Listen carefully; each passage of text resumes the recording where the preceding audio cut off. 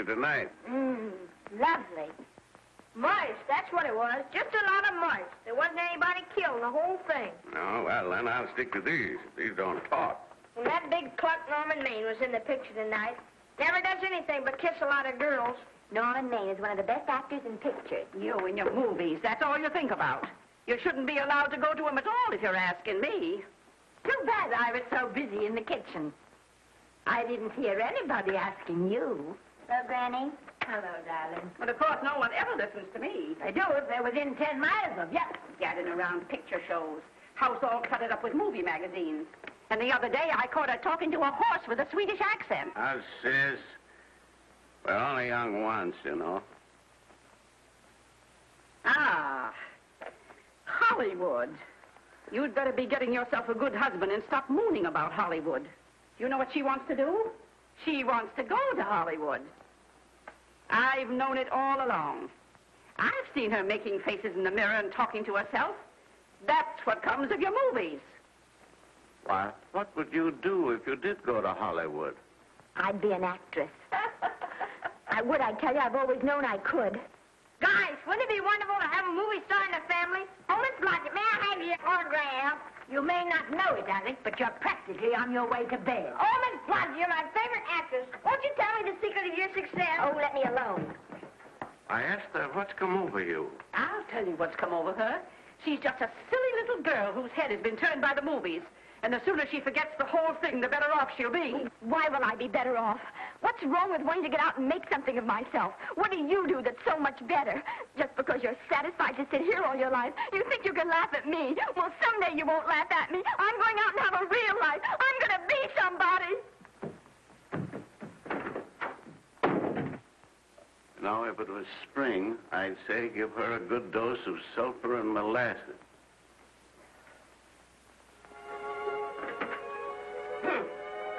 Find you. Oh, stop that. Now, stop crying. That isn't going to do you a bit of good. Oh, I'm crying because Aunt Mattie and Alec make me so mad.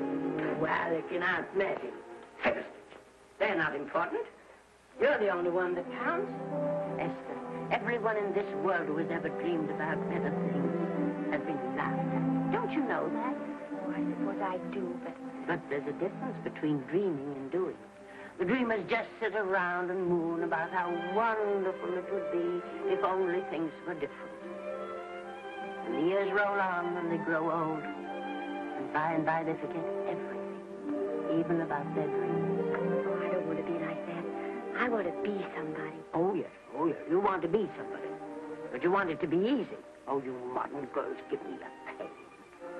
When I wanted something better, I came across those plains in a prairie schooner with your grandfather. Oh, everyone laughed at us. as They did at all the other pioneers. They said this country would never be anything but a wilderness. We didn't believe that. We were going to make a new country. Besides, we wanted to see our dreams come true. Oh, Granny, it must have been wonderful. It was wonderful. But don't you think for one single minute that it was easy, Esther Blodgett? We burned in summer and we froze in winter. But we kept right on going and we didn't complain because we were doing what we wanted to do. Can you understand that? Yes, I can. Could you do it? Could you do it even if it broke your heart? Because remember, Esther, for every dream of yours you make come true, you'll pay the price in heartbreak. Oh, I know what I'm talking about. You may not believe it, but I was a young girl once. A very pretty young girl. A lot prettier than you are. And I was in love with your grandfather. And when some Indian devil put a bullet through him, that if it had gone right straight through my heart, too. I remembered all he taught me. And I went right on. I buried him out there on that wilderness with my own hands. And I went right on that same day. And I kept right on going, even when your mother was born. Oh, Granny, I to make it worthwhile.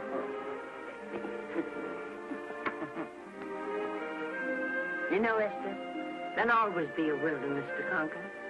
Maybe Hollywood's your wilderness now. From all I hear, it sounds like it. But if you've got one drop of my blood in your veins, you won't let Mattie or any of her kind break your heart. You'll go right out there and break it yourself. That's your right. Here. Oh, here, here. Stop that nonsense. Here. Take this and go to your Hollywood. Oh, I can't take your money. Well, why not? It's your savings. Well, I was only saving up for my funeral. Now I don't think I'm ever going to die. Oh, Granny, how can I ever thank you?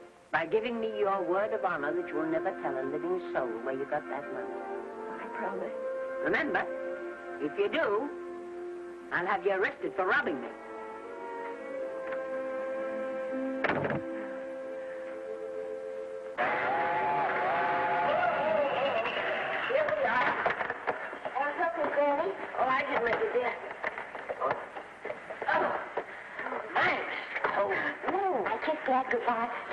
Just a little kiss. He didn't even wake up. I bet you didn't try that on your Aunt Mattie. Oh, Aunt Mattie. Think of her face when you tell her. I am thinking about it. I've waited for that chance for 30 years. There she is, girl. Oh, thank you, cousin. Huh? Well, come on, come on. Here, here's your prairie schooner.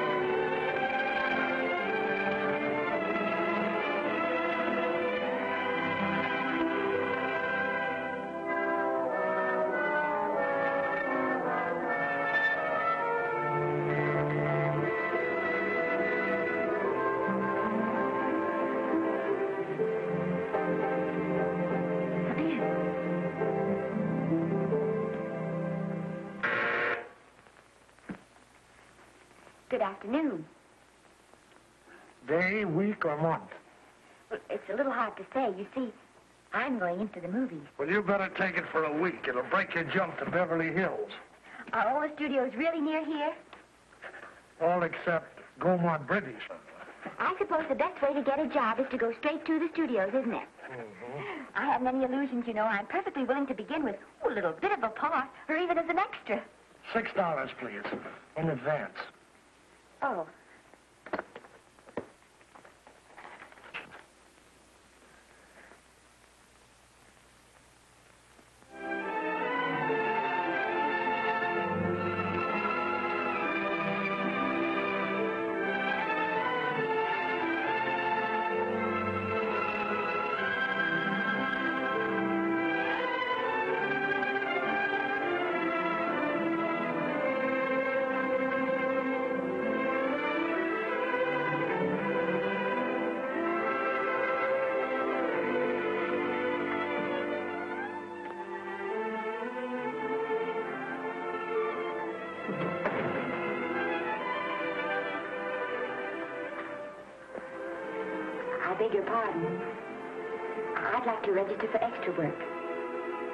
Long have you been in Hollywood? Well, it's about a month now. We haven't put anyone on our books for over two years. Come here. I'd like to show you something.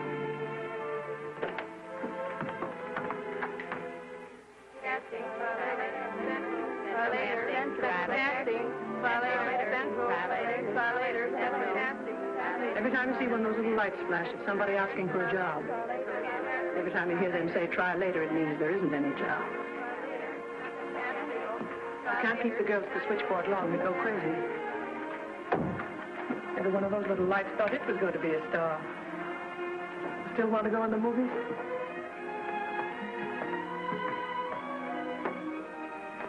You know what your chances are? One in a hundred thousand.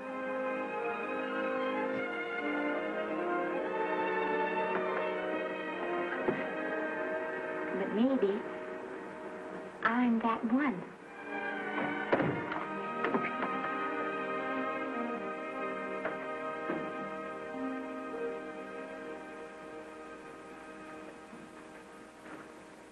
Any phone calls for me, Mr. Randall? Oh, no. Jesse Lasky and Sammy Goldwyn must be writing letters instead. How's the luck today? And there wasn't any. Maybe you don't go at it in the right way.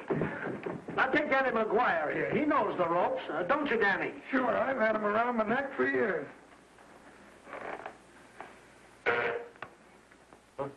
What? Oh, uh, Miss Blodgett. Danny McGuire, our new tenant. How do you do? Mr. McGuire is a big director.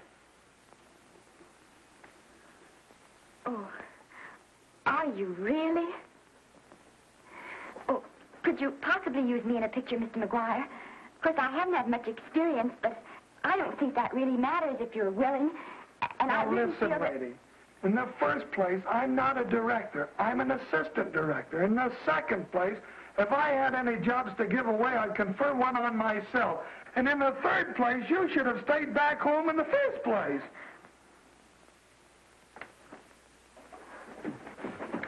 Oh, now look what you've done. Hey, wait a minute.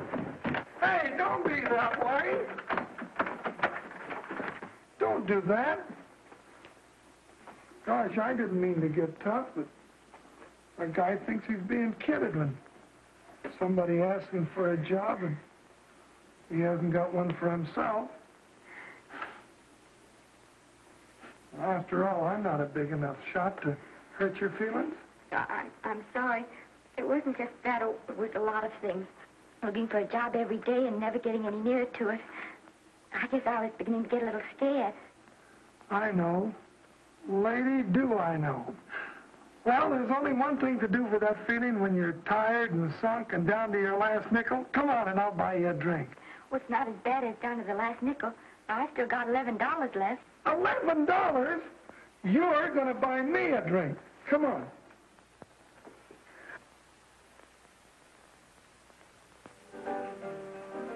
That's right, George. There's nothing like a little rum to take away that milk flavor.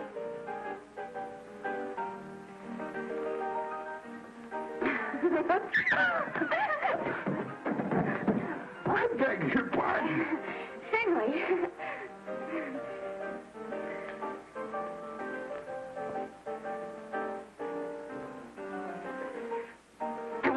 Thing I'm going to do is see that you direct every picture I'm in. That's my pal.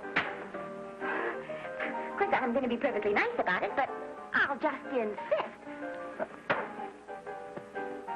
Now that's the way to talk.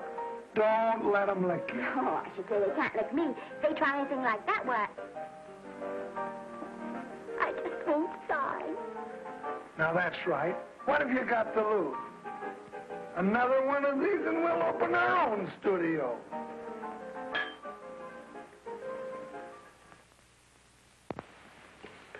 Bill rendered twenty-four dollars. Past due. Remit without further delay. Me.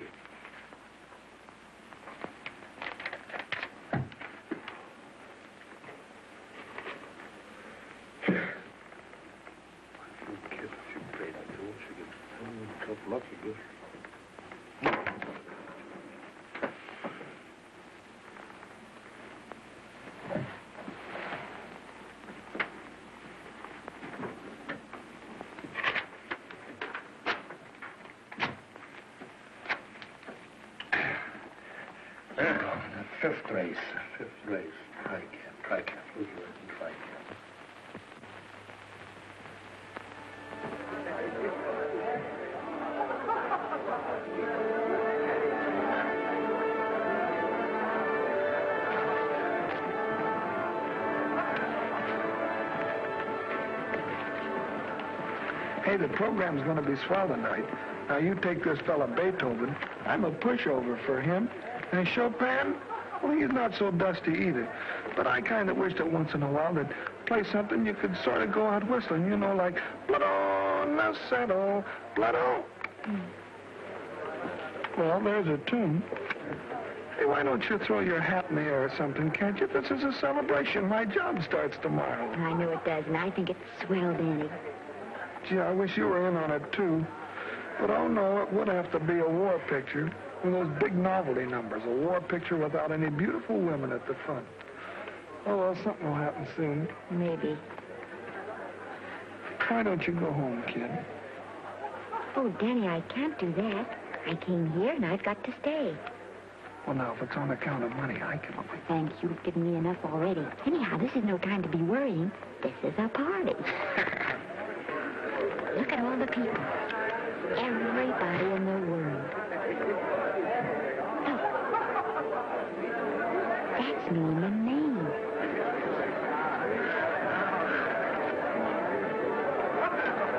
Uh, and he seems to have had that one extra cocktail.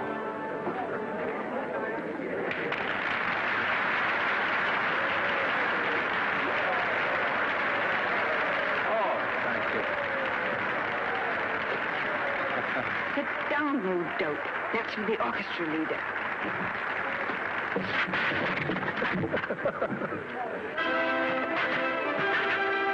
Oh, all right. Hello, Norman. Oh, Mr. Maine. Mr. Maine. Put your arm around Miss Regis. Arnold, this is a Hollywood Bowl. Oh, afraid of crowds.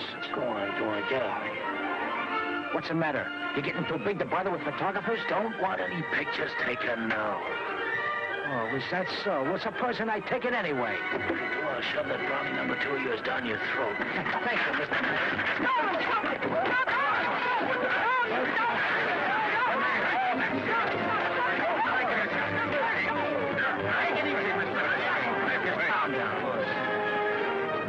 Normie, come back and sit down. Everybody's laughing at you. Right. Hi, Is he always like that? Well, I suppose he has to sleep sometime. Oh, and he's so wonderful on the screen.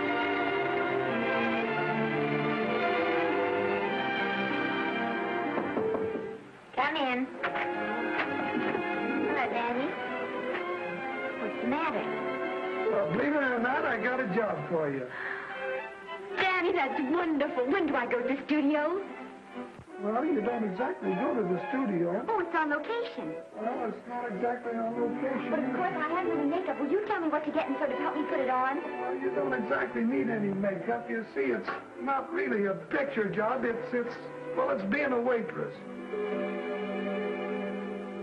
Oh. Well, it's kind of a picture job if you look at it right. You said it was a waitress. Well, it's waitressing for Casey Burke, the big director over at our studio. He's giving a party tonight to kind of celebrate on account of finishing the picture, and and he wanted me to get him an extra waitress, and it's five dollars. And I thought of you right away, Esther. That was awfully sweet of you, Danny. Well, well, there's going to be a lot of big people at Burke's house tonight, and I'll bet you there's any number of big directors. And if you're there, maybe they'll notice you. I could make them notice me. Sure you could, Esther. It's your chance. My chance. All right, Danny, I'll do it. Oh, oh, but I can't. I haven't got the right things to wear. Oh, oh, yeah. Now, you don't think the wardrobe department's right next to my office for nothing, do you? a perfect fit.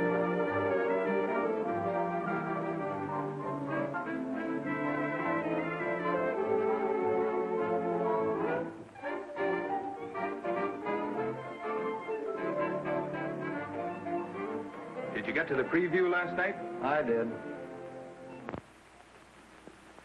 Would you like a little hors d'oeuvre? They are very nice. Oh, thanks. Well, what did you think of the picture? You should have saved it for Thanksgiving. What a turkey.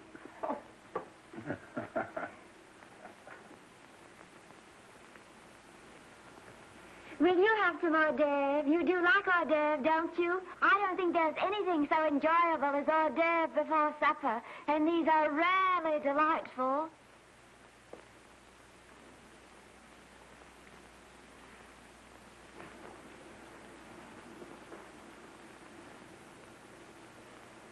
And at the finish, the kid turns around and sings the lullaby to its mother. Uh, pardon the big boys, but would you like a little hors d'oeuvre? Uh, they say they're the best in town. Don't tell me. I know. Mae West. That's a great twist. But where are you going to find a two-month-old baby that can sing? Hello, Oliver. Oh, hello, Casey. You want to fire me now? Wait till you see the picture. I'm not a director anymore. I'm a, a male nurse. What's the matter with the picture? A Guy by the name of Norman Maine. His work is beginning to interfere with his drinking. Oliver, don't tell me I'm to direct his next picture, too. Mm-hmm. You were my favorite producer. Now, wait a minute. You just go right on with your directing. I'll take care of these stars. I know how to handle them. I had a serious talk with Norman after that uh, Hollywood Bowl occurrence, and you don't have to worry any more about his behavior. Excuse me, Mr. Niles. Mr. Libby of your publicity department is on the telephone. He says it's most important, sir. It's about Mr. Maine. Thank you. Oh, it's probably just some little thing. of course, Oliver. I'll turn on the radio and see if they've called out the National Guard yet. Hello, Libby. What's the good word? Mr. Norman Maine, America's Prince Charming, was apprehended driving an ambulance down Wilshire Boulevard with a siren going full blast. He explained he was a tree surgeon on a maternity case. Well, uh, will it be in the papers? No, it won't be in the papers. But that's a nice, expensive hobby of yours, keeping Mr. Maine's informal entertainments out of the public press. Oh, that's fine work, Libby. Uh, try and see that no one gets to Norman. He's probably home sleeping it off. All of them. Why can't you forget those dopes at the studio for one night? Business, business all the time. I don't know what's going to become of you. Norman. Why didn't you call for me? Oh, by darling, why didn't I call for you? In case you've forgotten, I was supposed to come here with you. Oh, that, oh, that's all right. I got here without any trouble. The only reason I don't slap your face. Yes, darling, I, I know. hello, John. Oh, hello, man. What's the matter with Oliver? He looks as if he'd had bad news. Hello. Hello, Mary. What's the matter, old boy? Maybe I'm wrong. I guess I've been drinking too much lately. Oh, you have to cut it down. It's bad stuff. Scotch and soda.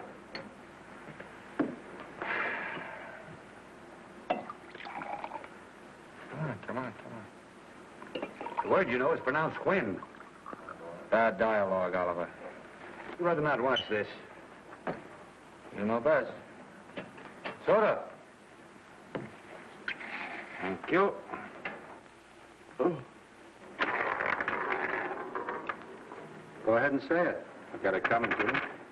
Don't make it tougher on me, Norman. I don't want to stand here and preach, but take a look at my side of it. I'm trying to make pictures with you. I know, I know. Costs are going up, and the grosses are going down. No, it isn't that.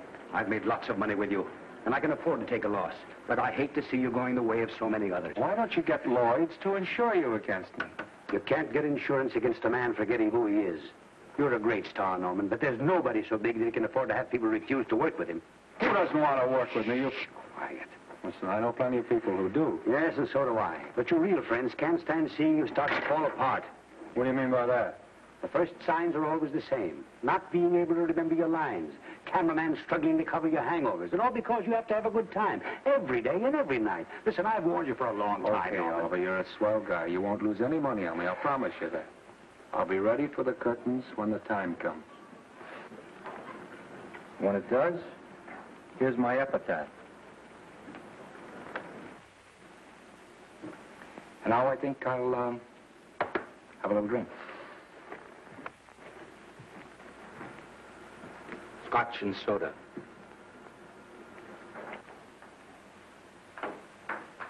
Scotch and soda. Come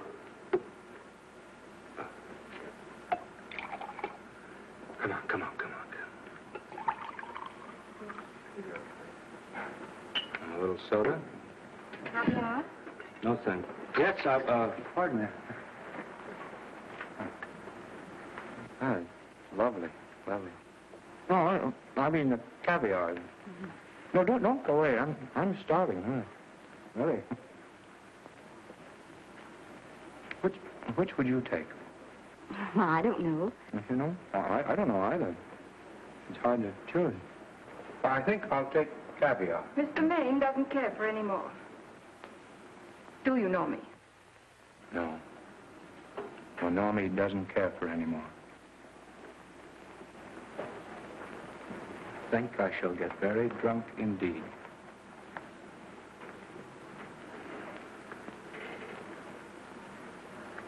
Scotch and soda. Sorry, I have something.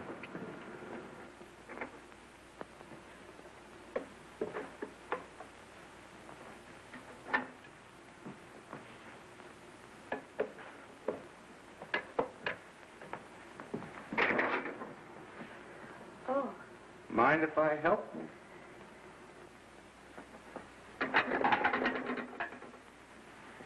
Won't they miss you? Oh, no, no. They'll just look under the table, and when they see I'm not there, they'll forget the whole matter. Hey, what, uh, what, what's your name? Esther Blodgett? My name's Maine. I know. You do? Ah. What's, what's so funny? I was just thinking about all your fans and how surprised they'd be to see you here helping me put plates away. Oh, they, they don't know my finer side. They'd be pretty envious of me, meeting you this way in person. Oh, you do. Well, tell me, are, uh, are, are you disappointed? Yes. Oh, now you've done it. Oh, never mind that. That makes the room look lived in. Tell me, uh, why, why, why are you disappointed?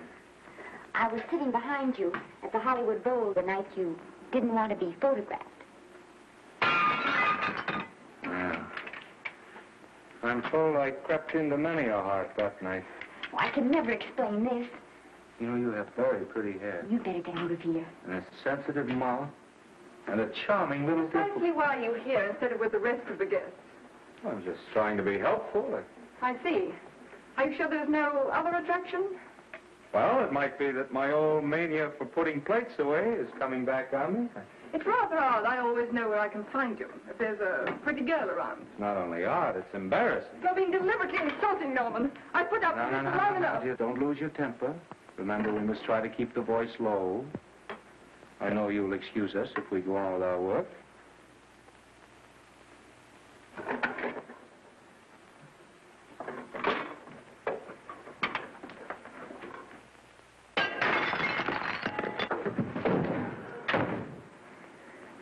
Now see what you've done.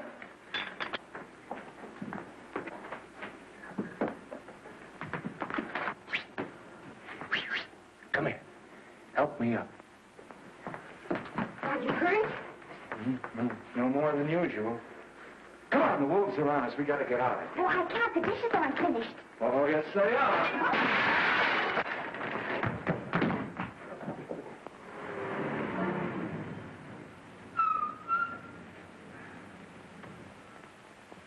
Well, I bet I know what you're going to say now. What? Good night. Good night and thanks. Hey, wait a minute. Wait a minute. Hey, uh, you realize that all I found out about you is that you're uh, foolish enough to want to go into pictures? But why is it foolish? Look at you. Yeah, that's what I mean. No, I'd, uh, I'd rather like to go into this matter a little more thoroughly. Oh, that's awfully nice of you. Why, uh, why don't we, uh, go on up to my place and, uh, talk it over? Oh, no. Thank you very much, but I really must say good night. Good night. But you're not angry. No, no. I'm hungry. Well, why don't you go and get something to eat? Good night, Miss Blodgett. Good night, Mr. Maine. Wait a minute. Peter, the least I can do is to see you to your door. Will I see you again? Anyone ever told you that you're lovely? Well, now you know. Thank you.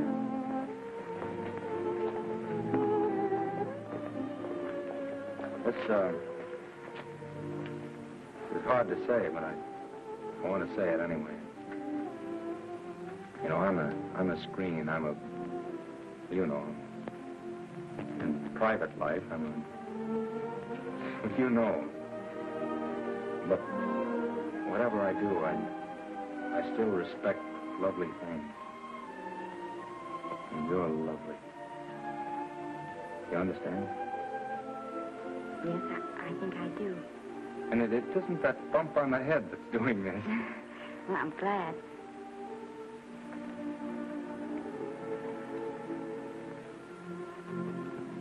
Good night.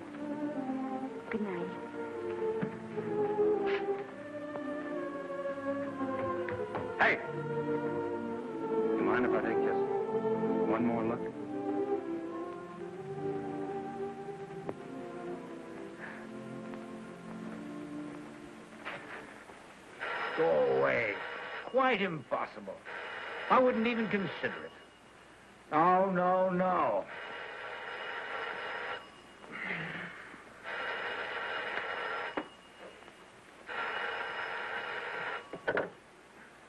Hello? Who is it? Who? Norman? What have you done now? You're not in jail, are you? Oh. Yes, I see. Oh, it's that again. I see. She's beautiful. Yeah, I know. You want me to give her a screen test? Yeah, certainly. She's got wonderful possibilities. Oh, you know she's got something. Well, you knew all the other ones had something, too. Oh, no. I tell you, Oliver, she's got that sincerity and, and honestness and a... Uh, sin- uh, sincerity and honestness that, uh, that makes great actresses. You... Oliver, I am so sure of this girl that I want to take the test with her myself. Listen, Oliver, you've worked hard. You're entitled to a break. You get...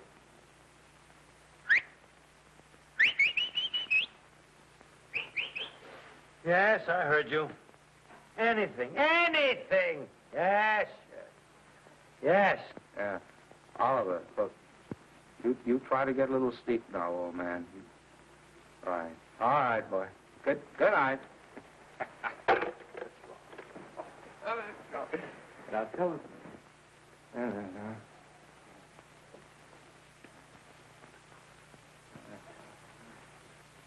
Telephone book. Telephone book. Hey. Oh, Oh,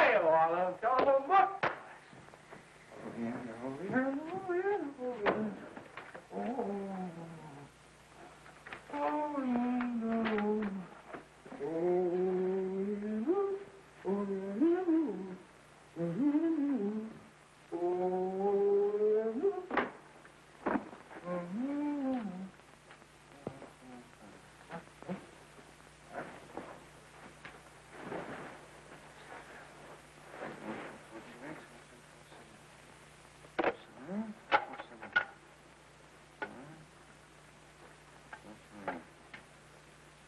Yes?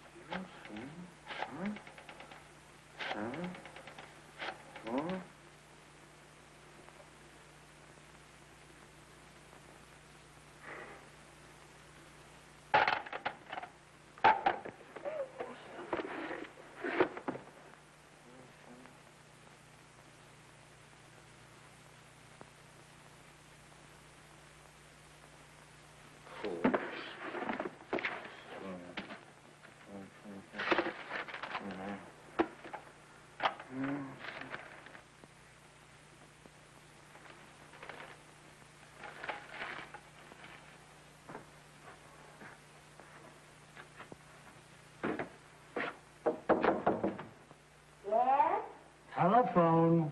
For me? Some drunk trying to be funny says he's Norman Maine. Oh. Oh, oh, thanks. I'll be right down. And Miss Blodgett, would you give him a message for me? Tell him it's three o'clock in the morning!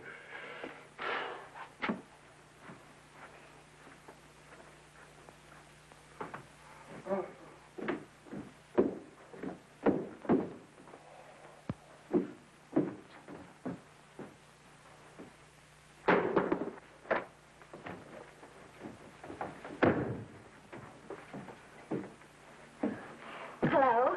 What? Oh. Oh. Oh. Oh, yes, yes. I'll be there. Oh, thank you.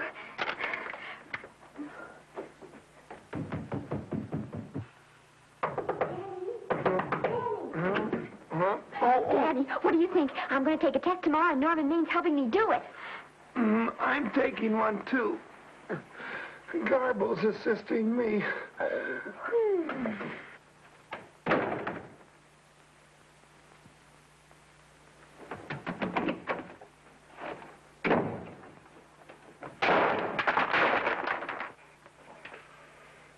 Oh.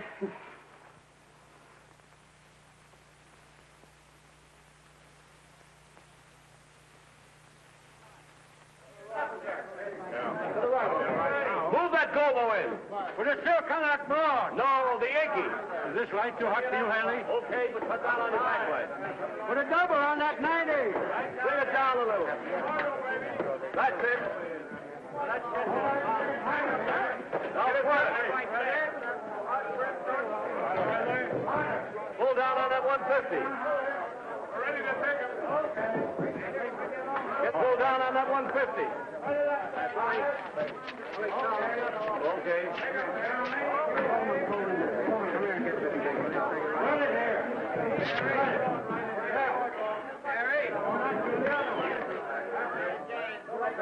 Bring me an apple box. Listen, gentlemen, please, if you don't mind. This is this is just a test. Ready, Mr. Oh, Burke? All ready, Mr. Burke. Ready, Mr. Burke. Ready now, Mr. Burke. All ready, Mr. Burke. Ready now, Mr. Burke. All ready, Mr. Burke. We're ready, Mr. Burke.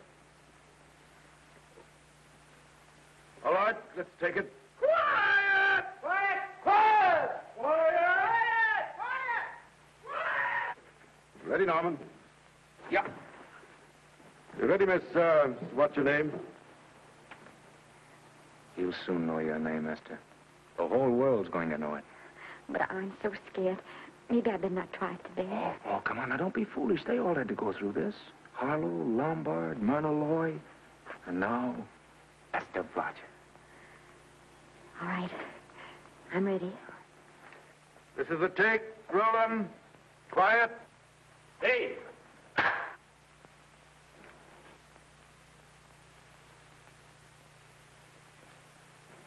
I may as well tell you that my whole organization thinks I've gone a little nuts to sign you. Well, maybe they're right. I've been nuts before. You see, all the experts seem to think that your type is a little mild for present-day taste. But I rather believe that tastes change, like eyebrows. And I think that also like eyebrows, tastes are going back to the natural. You look like a nice girl. I think I'm going to like you. That's not important. I think the public will like you. That is important. Yes. I see what you mean. I, I I mean, I know it is. Only don't think it's going to be easy. Nothing you really want is ever given away free. You have to pay for it. And usually with your heart. Someone else told me that once. But you still have to work it out for yourself. Oh, well, all this is just a long way of saying, I'm glad you're with us and good luck to you. And now I'm going to turn you over to our demon press agent, Libby. Don't let him frighten you. He has a heart of gold, only harder. And for the love of Pete, learn to close your mouth and keep it closed, even in your love scenes.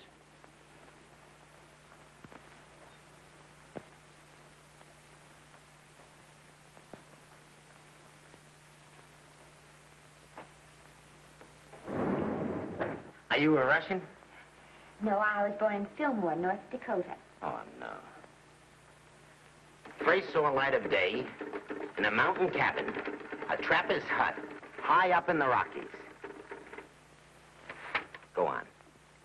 Well, I always wanted to be an actress. Dreamed of footlights as Lonely Kitty. Are you sure there's no Russian in your family? Positive. That's a shame. Well, what does your father do? He's a farmer. Uh, social registerite father. Fed up with hypocrisies of 400, sought wilderness for consolation. There amidst the mountain flowers, he raised another blossom.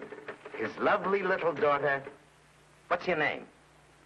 Esther Victoria Blodgett.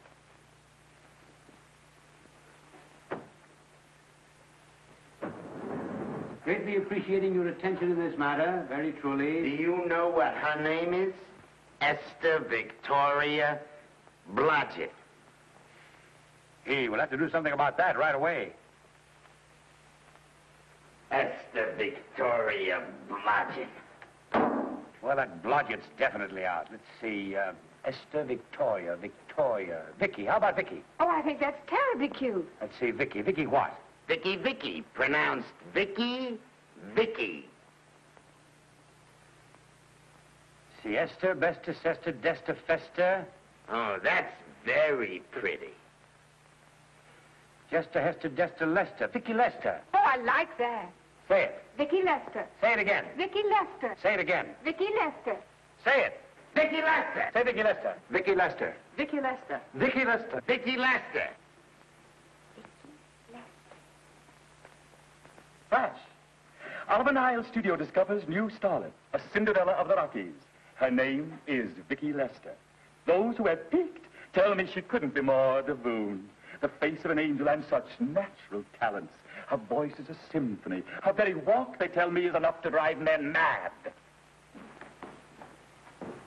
Not that way. Get the lead out of your feet. Lift them up.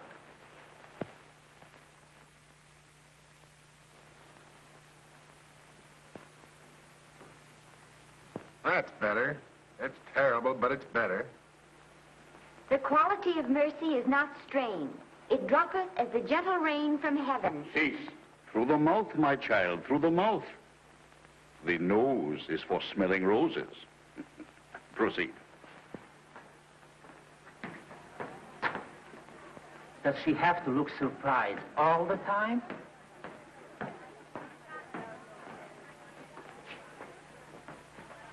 Anyway, it's just a rough sketch. Pretty small mouth, eh?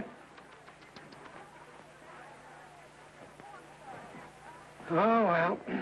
Give her that Crawford smear.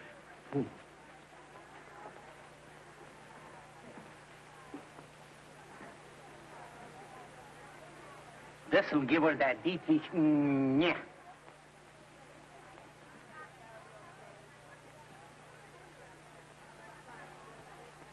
We're on the wrong track. She still looks surprised.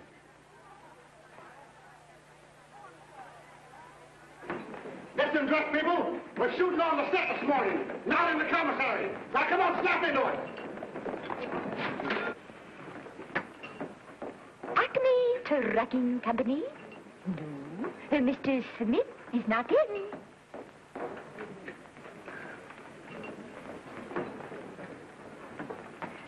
Acme Trucking Company. Uh, no. Uh, Mr. Smith is not in.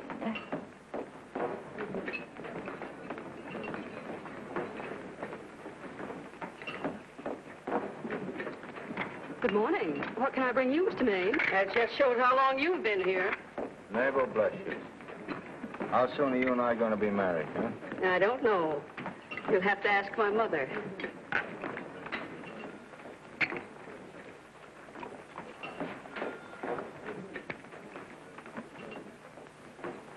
Acme Trucking Company? Uh, no, uh, Mr. Smythe is not in. Acme Trucking Company? No, Mr. uh, Smith is not in.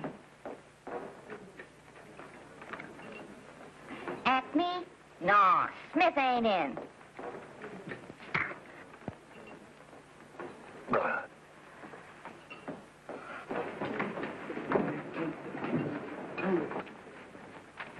Acme Trucking Company? I'd like to speak to Mr. Smith, please. Mr. Smith is not... Oh, Norman. What's all this between you and Smith? I've got a part. It's only one line, but it's in the picture. It's ambition that made you break that date with me last night. Well, I had to be here so early this morning, and Uh, so did I.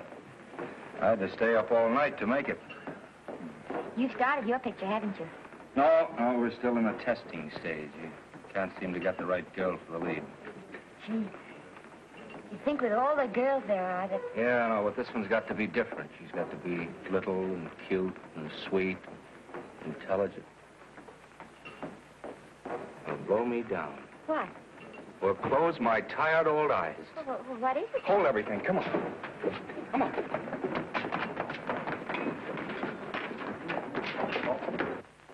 Well, you've been through the whole casting directory. I work day and night, Mr. Niles. And I'll work with her, Oliver. And I can be mean or nasty or anything you want, Mr. Niles. If she clicks, Oliver, you've got a star overnight.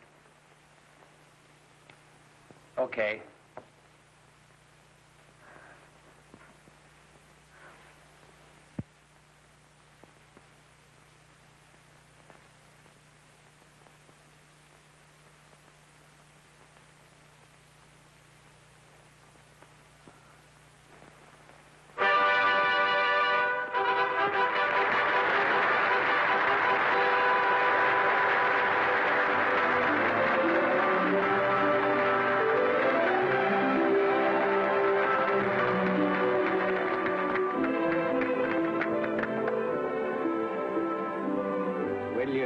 End of the picture.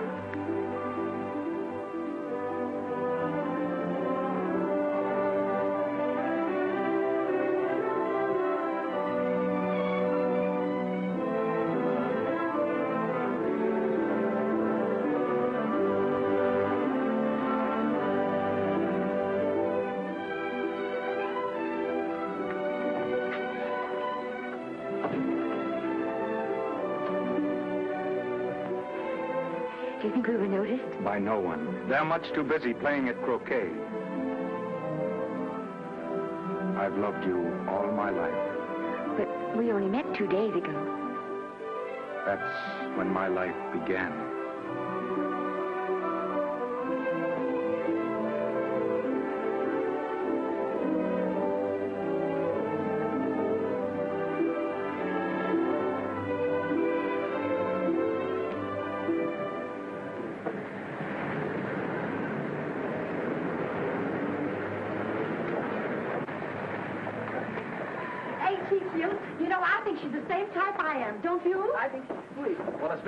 Picture, all right. I think she was much better than he was. These producers are so horribly down. They won't know how good she is. Well, maybe it's because she's a good girl. No, means not so bad, but it's Vicky Lester they'll go to see. Vicky, darling, I think she's the most precious little thing I've ever seen. Mm-hmm. The knockout, Libby. You might mention that when you write your review. That Lester kid's a gold mine. Didn't you like Norman Maine? Was he in it? Libby, I'm afraid we have another hit. It's in the bag, neatly tied up with beautiful pink ribbons. Say, where are Norman and Vicky? I don't know. I thought you had them. I wish they'd come. We're having a party at the Trocadero. Isn't it thrilling running away from people? Norman, it's so exciting, so... So new. A star is born. Come on, run.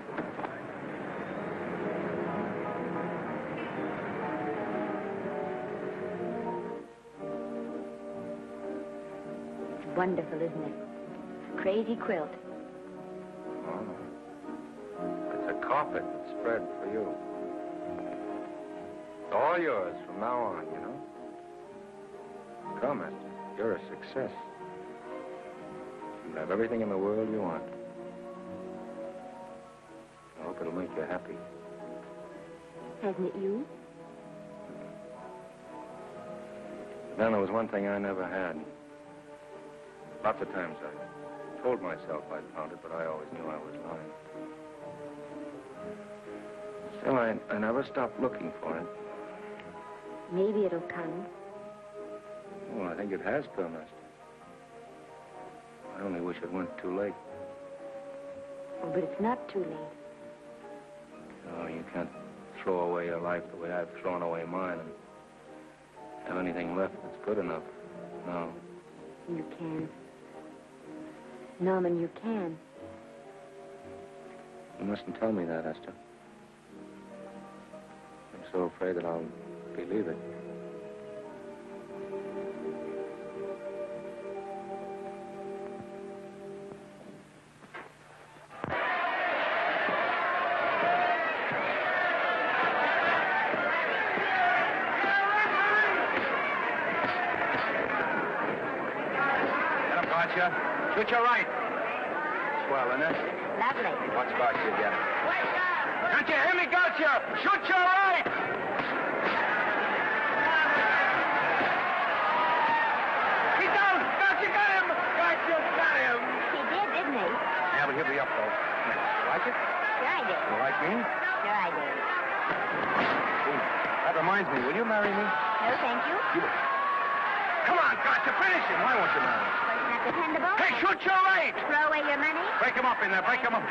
Up. Drink.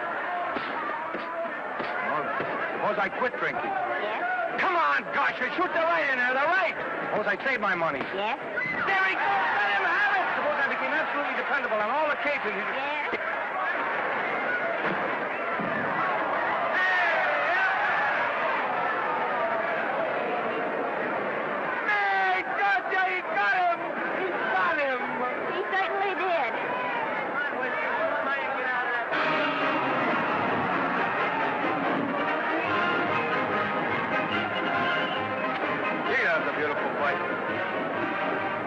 Norman, Gotcha. would you do all that for me if I said I'd marry you? No, certainly not. I was just supposing. We're going to be married. Guess I didn't read that line right. I'll try it again. We are going to be married Both of us. Yeah, to each other. What do you think of that? Well, when? Where? Well, we uh, thought we'd elope in the conventional manner. What's the matter? It's trying to decide whether it's good for the studio. Is it? It is. And bless you, my children. When's it going to happen? Oh, we thought we'd just sneak out sometime. We're not telling anyone but you. Listen to this. The screen's ideal romance blossomed into breathtaking reality today when Vicky Lester and Norman Maine, America's dream lovers, slipped quietly through the portals of holy matrimony. How does it sound? Horrible. But you see, we're going to elope. Sure you are. It'll be the biggest elopement this town ever saw. We'll get a tie-up with the Army, have you escorted all the way down to Yuma by 20 of their new bombing planes. Is he going with it? Don't you think we can work this thing out better alone? No sense in bothering the happy couple with all the details. I'll see to it that you get a carbon copy of the whole layout. I can hardly wait. I'm uh, sorry we didn't realize that we were in the way. While you're settling the details, you don't mind if I take this woman out and buy her a ring. do you? Sure, go ahead. We want everything legal. That's a charming match. A nice girl like Vicky. And public nuisance number one. Now, wait a minute, Libby. Norman's all right. And if you'll pardon my pointing, Vicky's business is her own. It doesn't require any comments. I wasn't making any comments. I just said it was a rotten shame. So go ahead and plan the elopement. Oh, that elopement stuff is out. You can't get any scope in that. We're going to have a wedding. Where'll we have it? Customary place, I believe, is a church. Nah, it's been done. This has got to be something big. The beach. I can visualize it. The bridesmaids in bathing suits. 20,000 Santa Monica school children spelling out the word love. It's a novelty, but is it big enough? Why not the city hall? A police escort of every motorcycle cop in town. Sirens screaming, confetti pouring out of buildings like the Lindbergh reception in New York, only on a big scale. What's the matter? Isn't it big enough? And now, if any man can show just cause why these two may not be lawfully joined together, let him now speak or else hereafter forever hold his peace. Do you, Alfred Henkel, take this woman as your lawful wedded wife? Will you love, comfort, honor, and keep her in sickness and health as long as you both shall live? I will. Do you, I beg your pardon. Do you, uh, Esther Blodgett, take this man as your lawful wedded husband? Will you obey, serve, love, honor, and keep him in sickness and health as long as you both shall live? I will. Place the ring on her finger. Uh, hurry, please. Now, by virtues of the power invested in me as Justice of the Peace of San Bardo Township, County of Los Angeles, I pronounce you man and wife.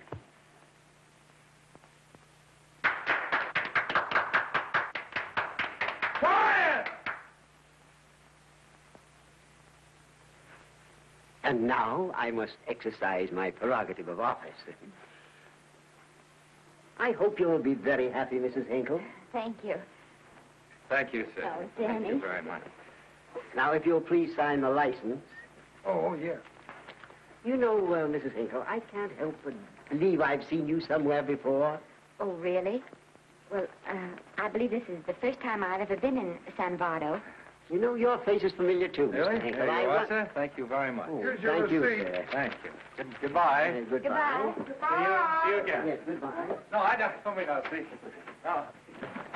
Yeah, I think you got by with it. But it was close. That JP was just beginning to remember where he'd seen us. Well, anyway, we got away from Libby. Hello, Toots. If you will be kind enough to glance between my shoulder blades, Mr. and Mrs. Henkel, you will find there a knife buried to the hilt. On the handle are your initials. To have seen you, Libby. Hold Hey, it, wait. hold it, Danny.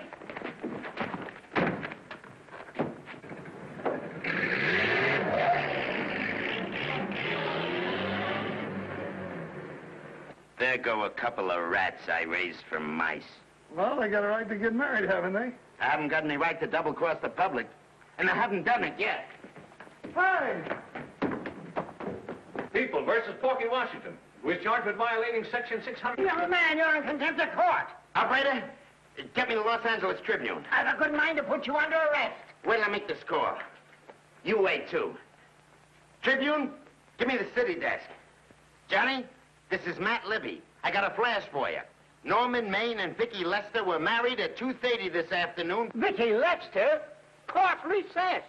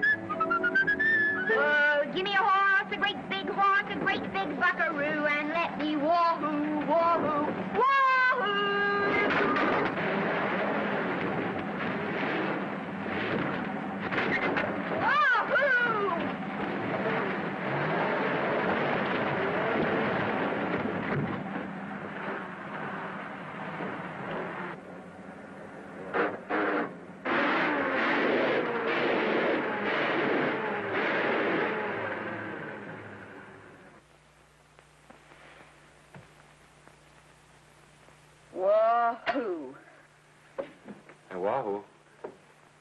I don't uh, want to sound immodest, but I think I've stripped a gear. Well, sit down, won't you, and let's get acquainted. We'll probably be seeing quite a bit of each other from now on. No. Might just as well break the ice now as later.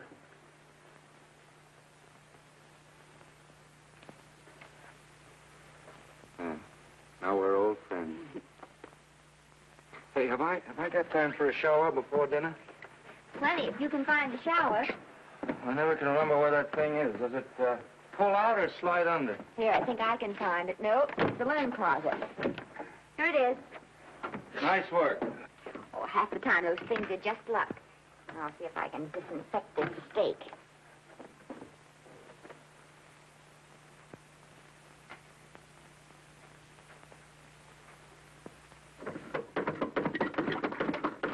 Hey, Esther, uh, there's no soap. Here. Thank you. Yes, dear? I'll, I'll need a washcloth, please. Oh, How you fix the cigarettes? you know I never smoke underwater. Well, what, what do I do to make this thing work? Pull that gadget at the top and pray for rain. Well, I, I can't reach it. I can't, I can't get my hands up. If you've gone in there with your arms down, you'll never get your bath. Unless you're a contortionist. Yeah, well, I, I'm not a contortionist, and don't throw that up to me now. You, you knew it when you married me. Will you close this door, please?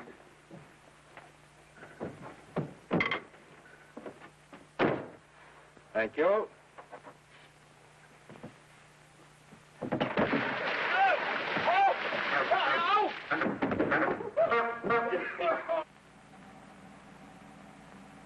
Norman! Norman, here comes the car. You got it. Huh? Here, quick! Quick what? Quick, go out and stop them and ask for help. Oh, I, I, I'll catch cold. Oh, you'll get warm again. Yeah, don't, Steve. They'll recognize me. Now, if you keep your face down, go on. There may not be another car for a week. Well, I... Uh, uh, Howdy, partner. howdy. Uh, Stuck? yeah, how'd you guess it? Uh, can you get us some help? Well, I reckon not. You know, it's a long way to town. We're pretty busy down at the place. Well, I got to get out of here. I've, I've got my wife with me. Don't she like the country? No, no, and then we're short of food. There's a lot of game in them woods. No, well, my wife can't shoot. Well, you're sure up against it. Sorry I can't do anything for you. Well, uh, wait, listen, I'll, I'll be frank with you. I'm Norman Maine. Who? Norman Maine. Well, my name's Judd Baker. Glad to have met you. Well, so long. Hey, wait a minute. Wait a minute. Listen, you don't... So you're Norman Maine.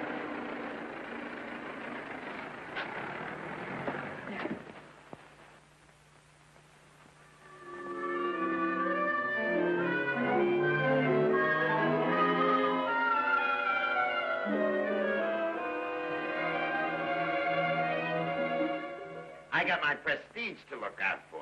I'm supposed to be the best publicity man in the racket. And they laughed themselves sick when I even tried to get a decent mention of Maine. Yes, I know how sensitive you are, Libby, and I don't like to see your feelings hurt. Thanks, boss. Now, Vicki, there's a dish for free space. But if Maine swam across the Pacific, the papers would keep it a secret. Well, the exhibitors don't like him, the critics don't like him, the public don't like him, and I don't like him. Who likes him?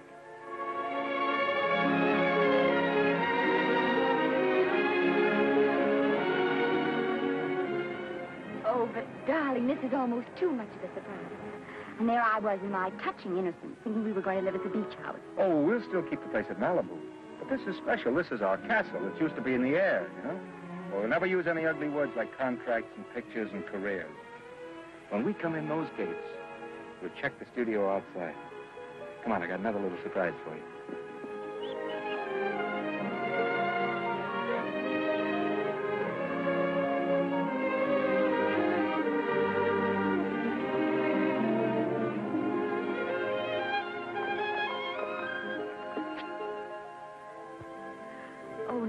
Lovely. So are you lovely. The whole world's lovely. Hey, hold it!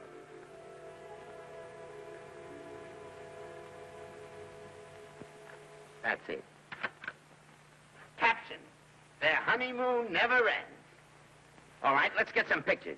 Now, if the bride will sit here and the groom stand behind her, we'll have something unique. Now let's go after something different. You sit down and she'll stand up. Pretty radical, isn't it? Yeah, but in a nice way. Okay, Otto, fire. Caption, their honeymoon begins anew. Ah, the producer. Caption, their honeymoon ceases abruptly. Hello, Oliver, glad to see you. No, I'm glad you're back. Thank you. Vicki, how well you're looking. Hello, Oliver. Am I interrupting? Yes, thank you. Just want a couple more pictures. That's enough of both of them. What they're asking for is exclusives of Miss Lester. Alone. Oh, I see. Well, come on, Oliver. Let you and me get exclusive. See you later, Vicki. But don't worry, Otto. My camera smashing days are over. Yeah. They ain't your only days that are over. Oh, hold that, Miss Lester. Gorgeous.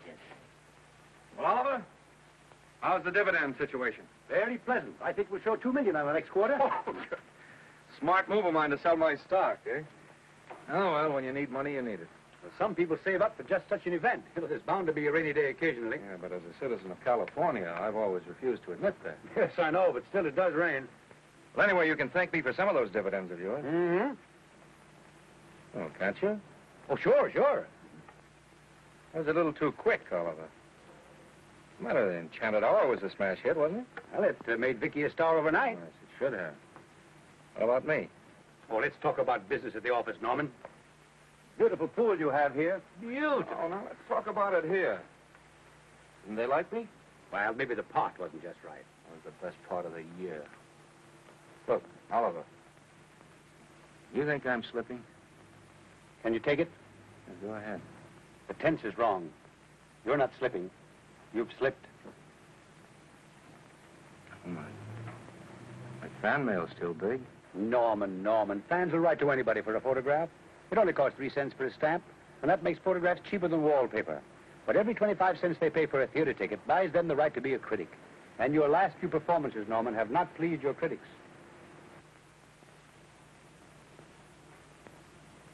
You remember I told you I'd uh, be ready for the curtains when the time came? Here it is. Let's call off the contract, no hard feelings. We're not quitting, either of us. There's no explaining these things. We've all seen how the public turns. Maybe we can turn them back. I've got a swell script lined up for you. About, about Esther. Uh, you think that I'm going to get in her way? Well, as a matter of fact, as it happens, there's no part in this story for her. I'd more or less planned to star her in a picture of her own, with, uh, with that young Pemberton opposite her. He's coming along nicely. Good for young Pemberton. All right, Oliver. We'll make a try at it. Let's hope it's not too late.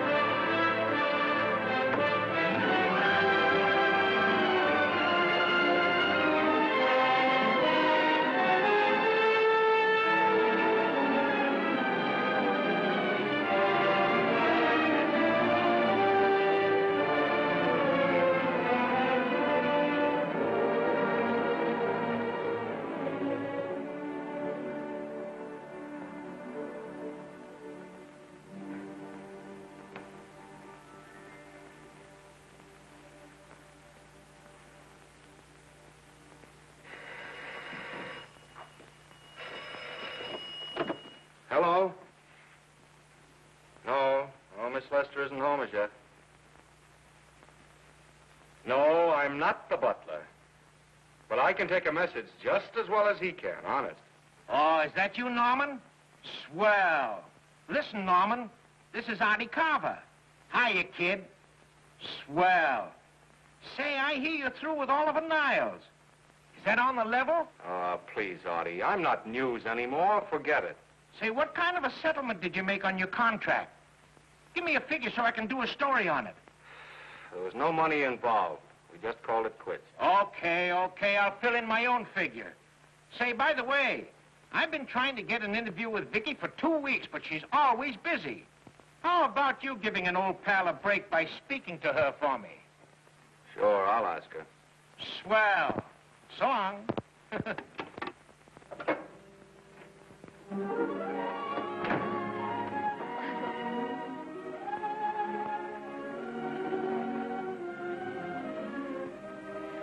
didn't mean to be late, darling, but Casey wanted... All right. You're here now. What's new today? Nothing? Haven't been out of the house. Let's go somewhere tonight. No, no. You're tired. We'll stay in. I'm not tired, really. Oh, yes, you are. You've got a hard day ahead of you. Anyway, I see so little of you, I'd like to have you to myself. Oh, but it's the servant's night out. We haven't any. Yes, we have. I fixed a little snack with my own lily white hands. I, uh, I'm learning to cook in my spare time. Then I think I'll marry you. I get it. You want to make an honest cook of me? Comes in on wheels in this joint.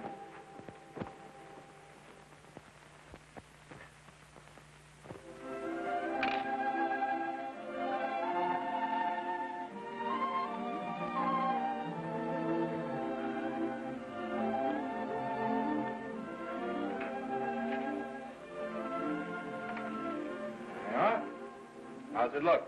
Mm, wonderful. Huh? That's what I thought. Now then, don't be formal, just pitch in. Yeah?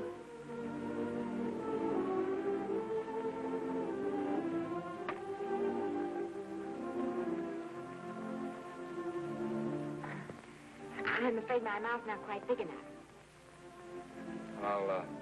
I'll, measure it next time and make them size. A little hard to lift, too. In fact, I think I'll take those measurements right now.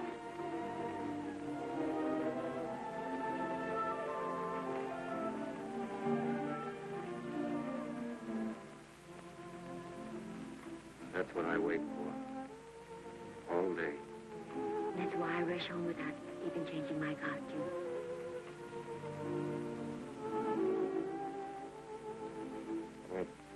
we're forgetting that we're hungry. Would you like a sandwich? Thank you. I still have a little work on this one.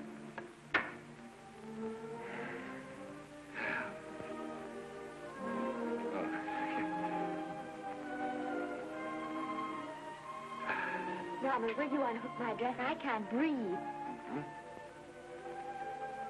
You know, all the time I thought it was the kiss that made you breathless. a lot of hooks. Huh? Uh-huh. Why don't you have a zipper? A good idea. You better? Yes.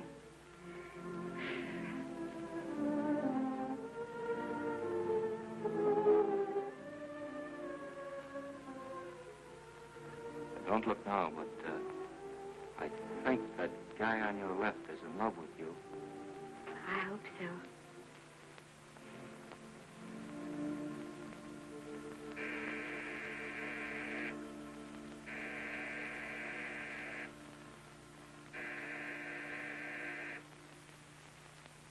Doorbell. Is it? Maybe they'll go away. Oh, I never do at a time like this. You... Come here. Just a minute, dear. I'll be right back.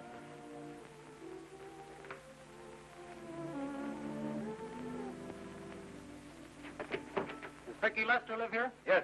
I got a package for her. I'll sign for it. Well, who are you? I'm her husband. Oh, sure. I'm right here, Mr. Lester.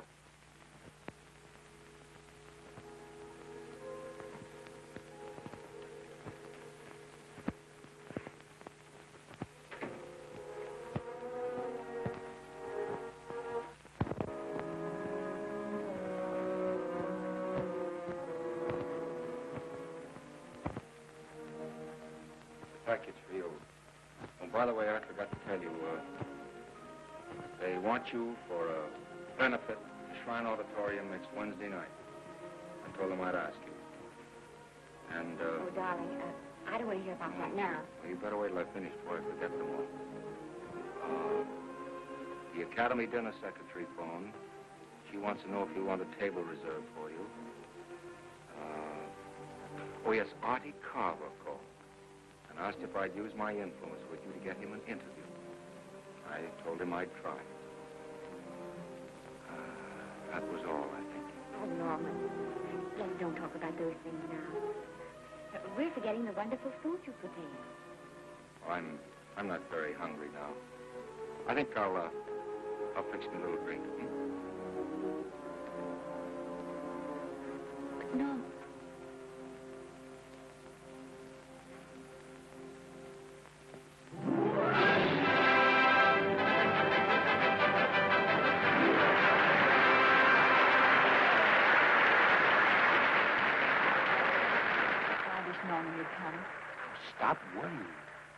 how nice that statue is going to look on your mantelpiece. do you suppose anything's happened to him? But of course not. He's just been held up in traffic.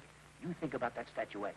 And now we arrive at the climax of the annual dinner of the Academy of Motion Picture Arts and Sciences, the highest award within our power to bestow. We have already applauded with our hearts as well as our hands, while awards are being given those gentlemen who during the past year have rendered distinguished service to the motion picture industry. We now pay honor to the lady, or rather to one lady. We offer to her the Academy Award for the finest performance of the past year. She has already had the world's acclaim, but this is the tribute of her fellow workers, the men and women of this industry. It is not only my pleasure, but my privilege to present this award to the actress who created the unforgettable Anna in Dream Without End, Miss Vicki Lester.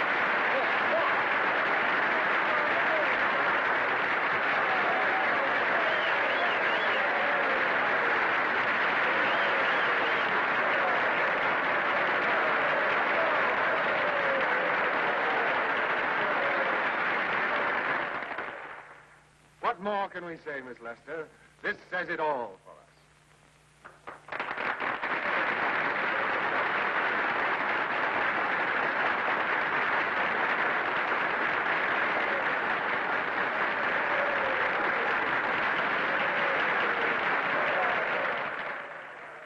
Ladies and gentlemen, when something like this happens to you and you try to tell how you feel about it, you find that out of all words in the world, there are only two that really mean anything.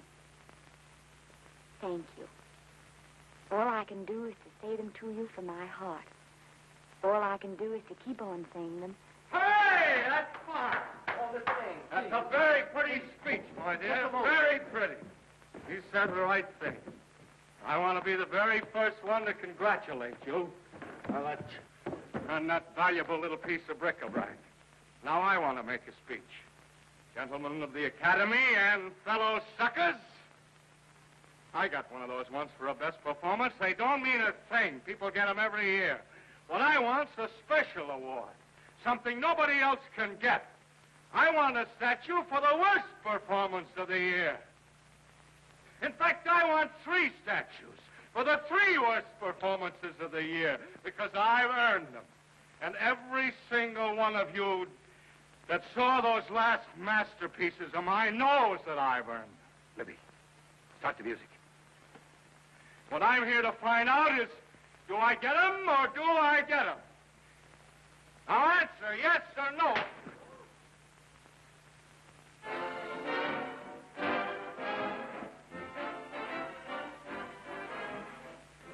Norman, darling, let's go and sit down.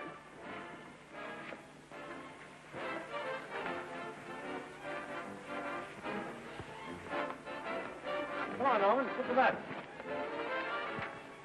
That's for you, Norman. Hello,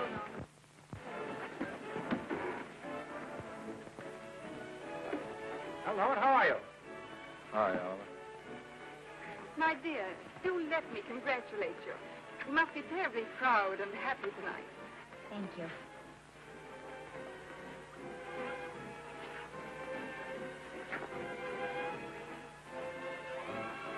Somebody give me a drink.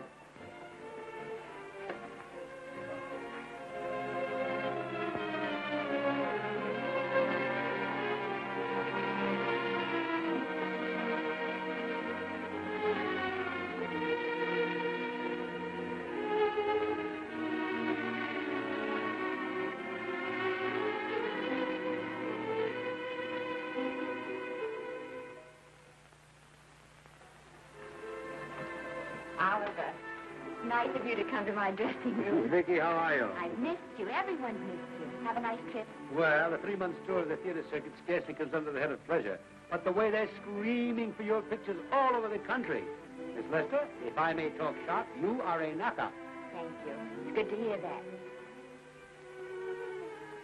You've been crying. A little. How's Norman?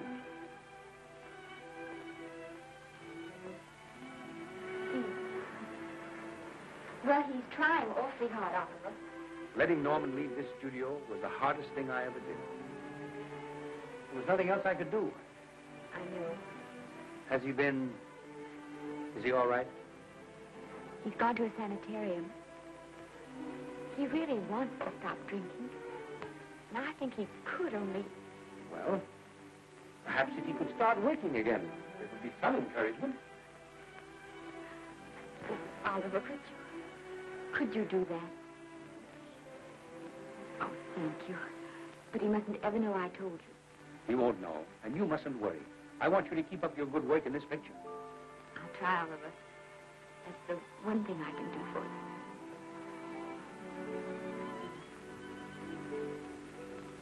you.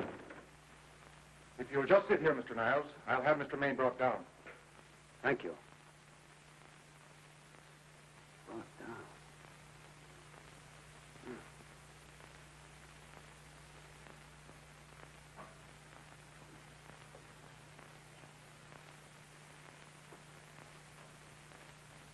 Hello, Oliver.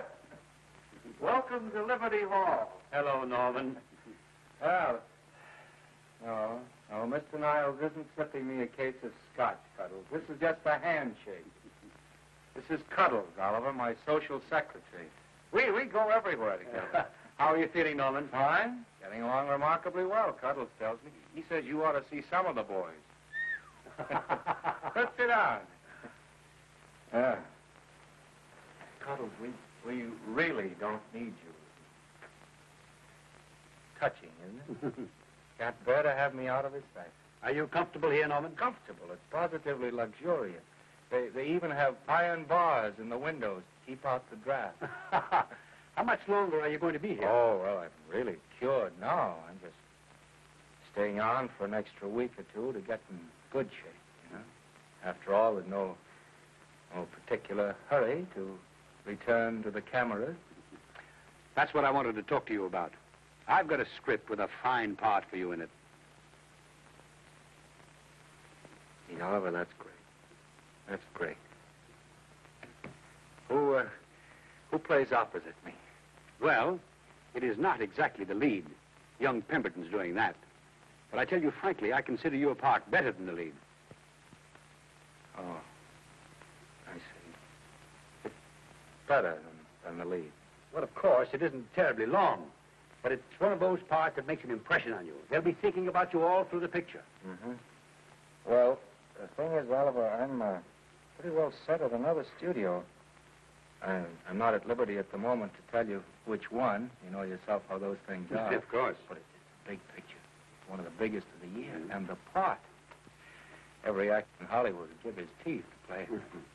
Well, that's fine, Norman. Uh, naturally, that will tie you up for a while. But we won't get to this picture for some time. And perhaps, if you want to consider it for later on, well, we'll I be... tell you, Oliver, you'd better not count on it. See, uh, I've got several pictures lined up after this one, and they're talking to me about England. You know, they're, they're doing some very interesting things over there, you know. Mhm. Hey. Uh, what is it, Cuddles? Speak right out. We all love you. Your dinner. Oh, here we dine at 5.30 here. Makes the nights longer. Well, goodbye, Norman. I'm glad to see you getting along so well. Be out in no time. I'll have to introduce myself all over to a lot of people. They won't know me when I'm not drinking. Goodbye. Goodbye, Norman. Thanks for dropping in. Well, Cuddles? Alone at last, eh?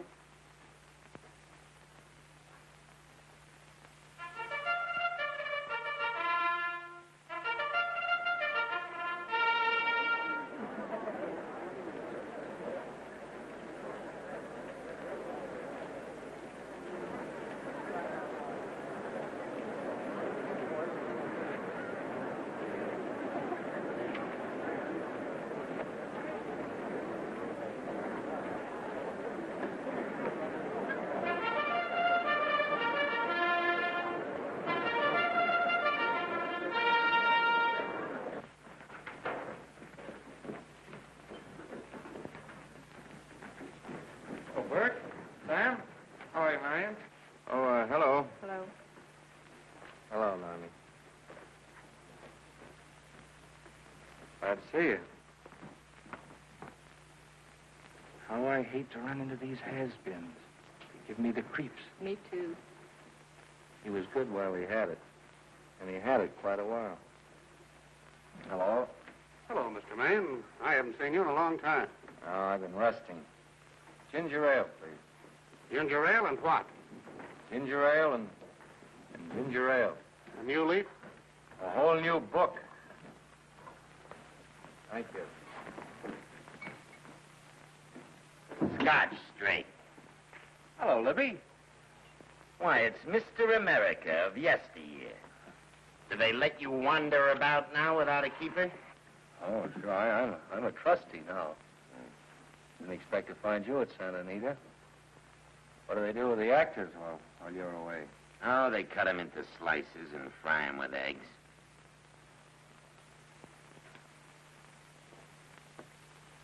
I suppose you'll be here all the time, now that you've retired from the hurly-burly of the silver screen.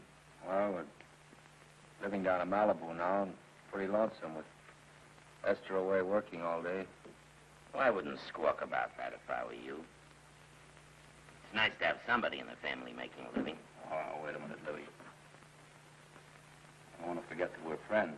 Friends, my eye. Say, listen, I got you out of jams because I had to. It was my job, not because I was your friend. I don't like you, and I never have liked you. Nothing made me happier than to see all those cute little pranks of yours finally catch up with you and land you on your celebrated face. Pretty work, Libby. Always wait till they're down, then kick 'em. I don't feel sorry for you. You fixed yourself nice and comfortable. You can live off your wife now. She'll buy you drinks and put up with you even though nobody else will. Come on, front. Hey, wait a minute. Wait a minute. Come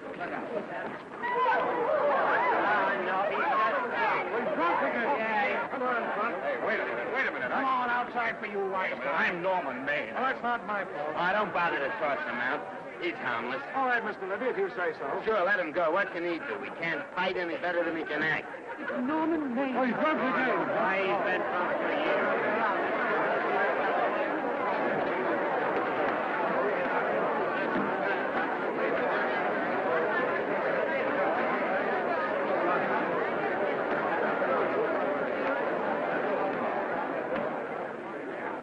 Give me a scotch. Double. Leave the bottle here.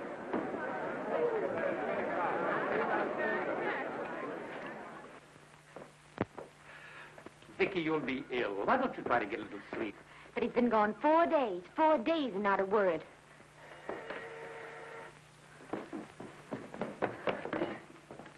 Oliver, I can't. I just can't. Hello? No, this is Oliver Niles speaking. What? Where? Thank you. What is it? Nothing, What- nothing. Oliver, tell me. He's in the night court. He's been arrested on a drunk charge. Now, he's all right. He isn't hurt. I'm going right on get him out. I'm going with you. Vicki, it isn't any place for you, and if it gets in the papers, What do. I care about the papers? I'm going with you.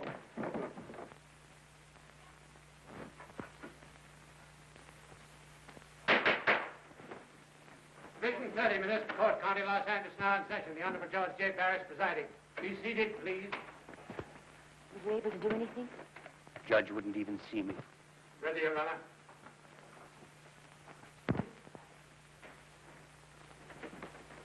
I want to advise you that you're entitled to be represented by counsel, to be confronted by the witnesses that may testify against you, to compel witnesses to attend on your behalf to a public and speedy trial by the court or by a jury, and the right to be admitted to bail. Call the first five. Gregory, Hale, Kane, Rodriguez, come. Come on, boys, get over here. Go ahead. Move along. William Gregory. Yes, yes. Plain drunk, picked up at Fifth in town. Asleep in the gutter. 14 similar offenses in the past six months. Still at it, Gregory. How do you plead? Uh, I don't feel so I didn't ask you how you feel. I asked you how you plead. Guilty, I guess. When did you get out the last time? Uh, just, just before Christmas. Well, I'm sorry you'll have to miss New Year's. You'll be out in time for Washington's birthday in 60 days. Milton Rails. A plain drunk, picked up on Brooklyn Avenue, given treatment at receiving hospital, then removed to jail. How old are you, Rails? Uh, 17, sir. Did you take a good look at those men in the cell with you last night? Yes, sir. And have you taken a good look at yourself this morning? Oh, no, sir. I suggest that you do. Five dollars or two days. Sentence suspended. Oh, Judge, Alfred Hinkel, more commonly known as Norman Maine. Uh, drunk and disorderly. Cracked car into tree at Sunset and Coronado. Evidently been drinking for days. Resisted arrest and injured one of the arresting officers. How do you plead? Guilty.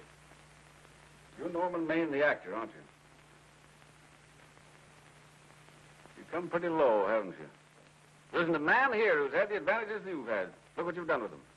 You're nothing but an irresponsible drunk, driving about the streets with the power to inflict death or injury on innocent people. I think you'd better deny you that power for a while. Ninety days in the city jail. Please wait.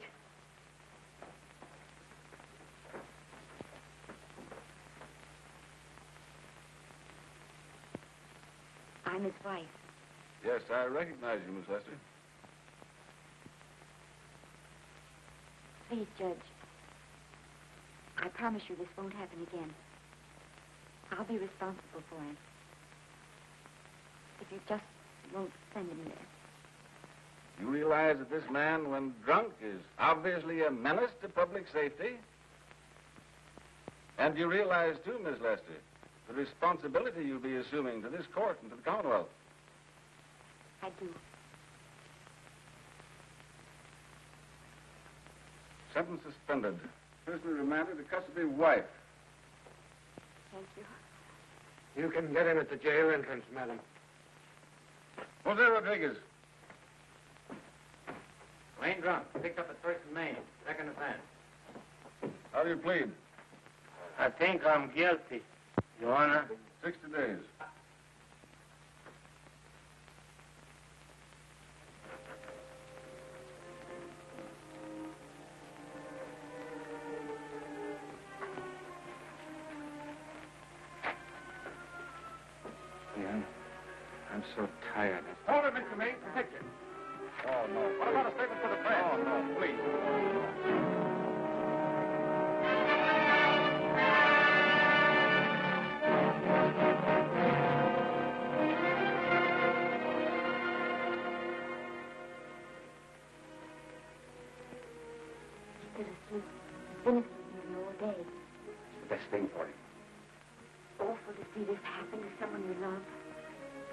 Know in your heart that it can't get any better.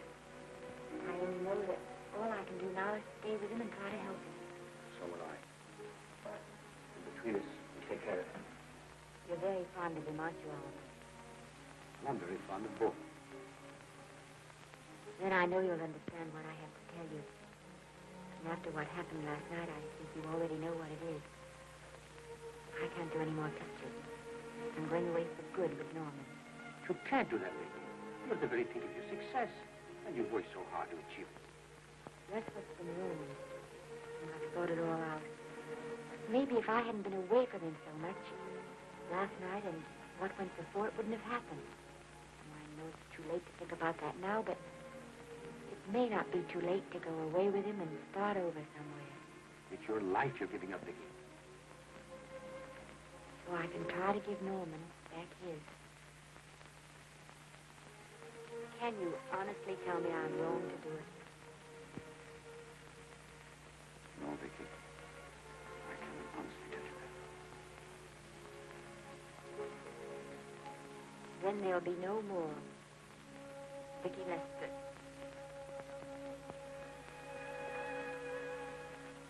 On, walk to the door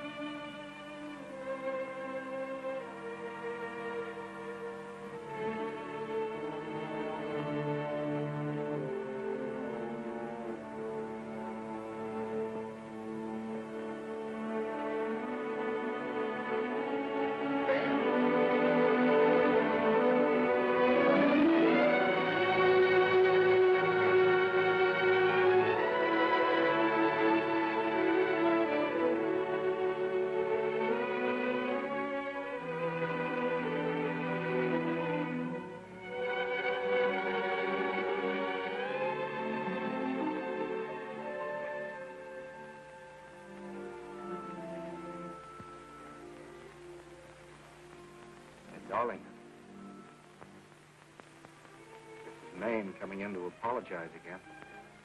Oh, I'm sorry, dear, but it, it isn't you. What other troubles have you got? None. I was just playing a scene with myself. Now, look. I'm just coming out of the jitters, and you're just going into them. This is a swell household. Isn't it? I'll tell you what we'll do. I'll promise to brace up you'll go on the wagon. I guess I have been drinking too much. You know what I'm going to do? I'm going to be an athlete. You mean with great big muscles and everything? Well, roughly speaking. Gonna join the YMCA? Uh, I trust too much. I'm going wading out in our front yard. No. Sure. Would you like me to go with you? Sure, if you'd like to. No, me. I don't think I will. It might spoil this beautiful natural wave. Yeah, I guess that's right. But, darling, look, uh, could you have a hot toddy, uh, um, some hot soup for me when I come back? Some hot soup. And, and I'll make some of those nice sandwiches. No, do you have to?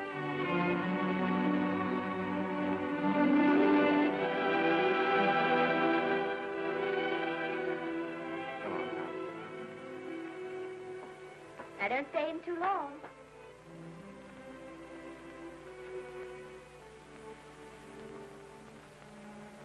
Hey!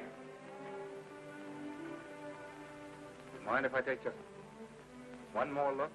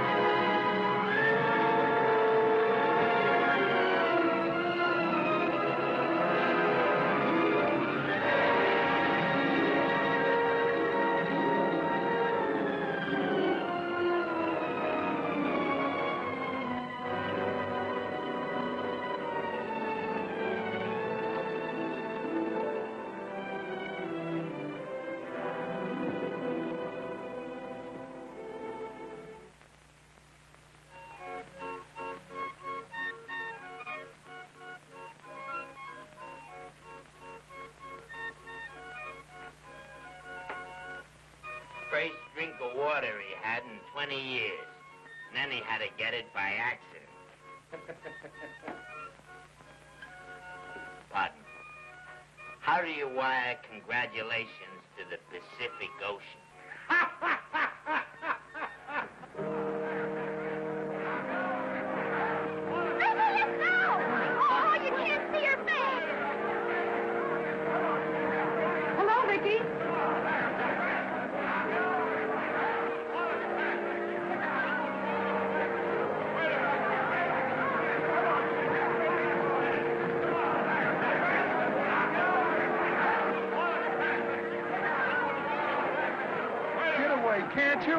On, Vicki, let's see your face. Vicki, will you sign my book for me? Write Mrs. Norman Maine. Don't you care, Vicki? You get over it. Stand back, can't you? Don't you cry, dearie. He wasn't so much.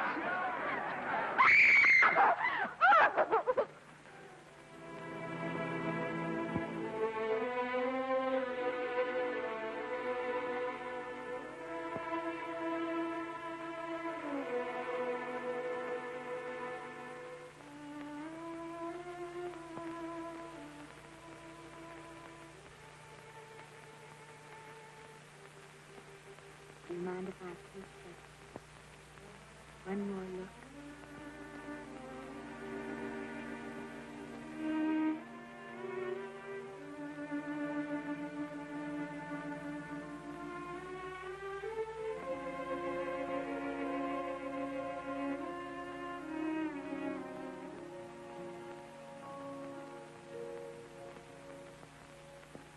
Here are the paychecks for the servants, Graves. You'll find a very nice bonus in each one. Miss Lester asked me to thank you for your kindness and service. If there's anything I can do for the little lady, I should be glad to do it. She would appreciate your attending to the closing of the Beverly Hills house. Put down those trunks. Put it down, I say. Well, where is she? In the bedroom. Who are you? Oh, I'm her grandmother.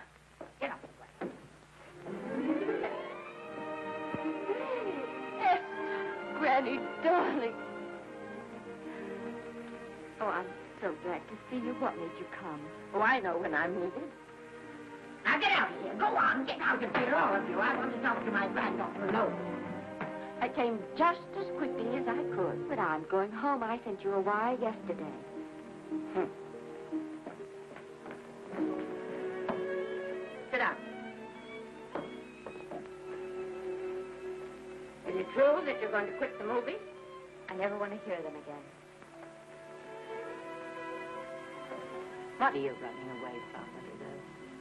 I'm not running away. It's, it's just that I can't go on. My heart isn't in it anymore.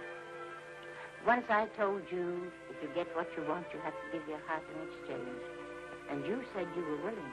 Do you remember? I remember. It seems to me that you got more than you bargained for. More fame, more success, even more personal happiness. Maybe more unhappiness. But you did make a bargain. And now you're whining over it. I don't think I'd feel so very proud of myself if I were you, Esther. I'm not, Granny. My mind's made up. Well, then I'm sorry I gave you the money to come out here. You just wasted Oh, but Granny, I was proud of you, Esther. I was proud to be the grandmother of Vicki Lester. It gave me something to live for. Now, have it ended. I know. Oh, I want to be strong, but I, I can't go on. You must. Tragedy is a test of courage. If you can meet it bravely, it will leave you bigger than it found you. If not, then you'll have to live all your life as a coward. Because no matter where you may run, you can never run away from yourself. I never knew Norman Maine. He wrote me a very sweet letter when you were married.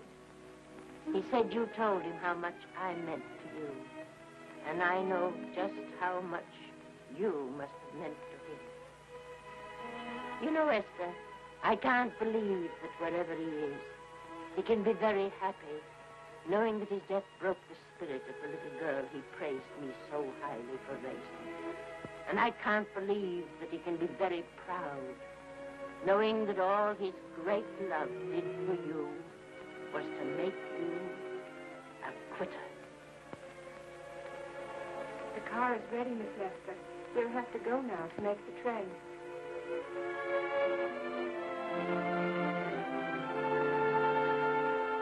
Put the car back the garage.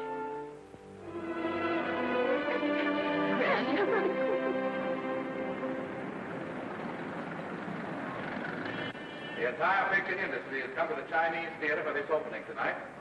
It has come to pay tribute to a great star on her long-awaited return to the screen in what has been called her greatest performance. It has come to pay tribute to the girl herself. The girl who has won the heart of Hollywood. The girl who has won the heart of the world. Miss Vicki Lester. And if I'm not mistaken, Miss Lester's car has just driven up. Yes, it is she.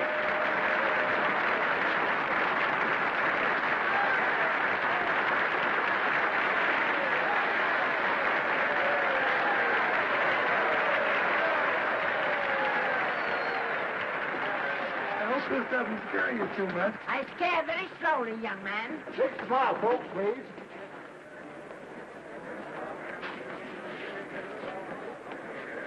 They'll have your mug. I mean your face plastered across half the papers in the country tomorrow. Hmm, how do I look? Oh, you look swell. You're a liar, but I like you. And here's Miss Lester's grandmother. Won't you say a few words to the radio audience, please? Say something, Letty. You know, we've got a thing like that back home where they all listen in on, but we call it a party line. Won't you say something, please? They're listening. Maybe some of you people listening in dream about coming to Hollywood. Maybe some of you get pretty discouraged. Well, when you do, you just think about me. It took me over 70, 60 years to get here, but here I am, and here I mean to stay. Thank you very much.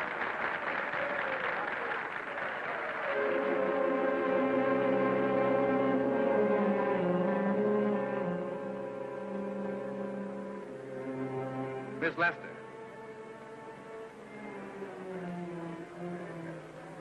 This microphone is on an international hookup.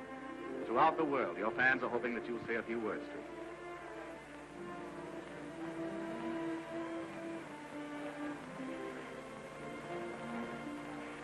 Hello, everybody. This is Mrs. Norman Maine.